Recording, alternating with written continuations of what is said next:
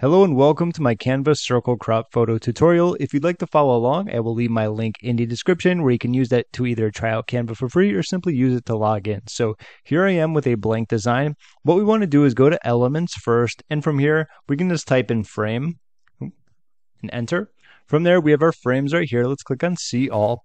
And of course this is going to be the circle one so we can just simply click on this and as you can see, it's going to be right here. So now that that frame is there, all we need to do is just go to our uploads, find one that we want to use, and just pretty much place it in there. Let's go with the turtle here. Let's drag it until it matches up right there. Now what we can also do is click on this and we can do crop. So now we can center it, you know, to make it look even better. Probably something where you can see like both of the little fins there. I think that looks perfect. Maybe a little bit more to the left. Really up to you how you want to do it and then click done. But nevertheless, that's how you can circle crop a photo in Canva.